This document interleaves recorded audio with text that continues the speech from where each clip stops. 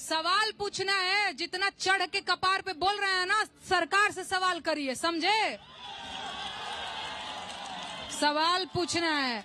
जहाँ पूछे के हो ना, उस जगह मुँह में ना दही जम जाई तो हम लोग के। सवाल पूछना है। सरकार से पूछिए सवाल। मैं लोक गायिका हूँ। मैं विपक्षी पार्टी की प्रवक्ता के रूप में नहीं आई हूँ, नहीं बीजेपी की प्रवक्ता हूँ। इतना सवाल करने का चुल मच रहा है ना सरकार से पूछिए मुझसे सवाल नहीं। गायक गायिका हैं जो सामाजिक चेतना जागृत कर रहे हैं और कुरीतियों के अ, सामाजिक अन्याय के विरोध में आवाज़ उठा रहे हैं। एक वो लोग हो गए आपने कहा आप अकेली नहीं है और भी लोग हैं। वो जो सरकारी चरण वंदना वाले जो लोग हैं उन्हें क्या मिल जाता है ऐसा? देखिए उनमें और मुझमें अंतर है। उन्हें पद्मश्री मिल जाता है, मुझे नोटिस मिल जाता है। ये अंतर है।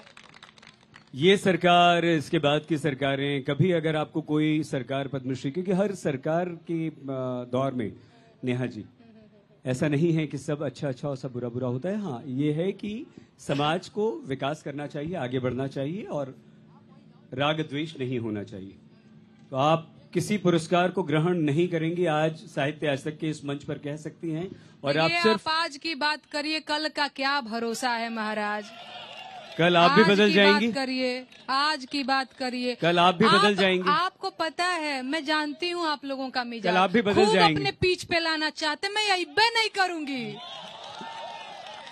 ऐसे फंसा देंगे ऐसे फंसा देंगे। ना ना ना ना ना ना ना ये नहीं हो पाएगा। कोई एक ऐसा अच्छा काम उत्तर प्रदेश की सरकार ने किया हो जिसकी आप तारीफ़ करना चाहती नहीं देखिए वो अपनी तारीफ़ तो बड़ी बड़ी होर्डिंग लगा के करोड़ों रुपया खर्च करा के बड़का बड़का मंच से करवा ही रहे हैं।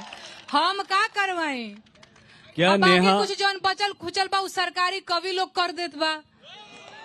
में अब हम का करवाई एक नाम तो सरकारी कवि का बताइए मैडम। नहीं आप एक नाम कम नहीं आपको लगता है कि एक आप, नाम तो बनता है ना। एक नाम तो बनता है। देखिए देखिए देखिए वही तो मैंने कहा तो दस बता- दस मैंने बता कहा दीजिए। कि लिस्ट लंबी है कहे दस कहे बता ना नाम सुनावे लगा एक तो घंटा एक घंटा लिस्ट सुनाइए अरे भोर हो जाए दो घंटा बैठे हम भोर बिहान हो जाए हम आपके मेहमान हैं आपके शहर में आए हमें कोई काम नहीं आपसे बात हो जाएगा। हम बैठे हैं आप सुनाइए लिस्ट लाइए। आपको क्या लगता है? मैं उनका यहाँ नाम लेके हाईलाइट करूँगी।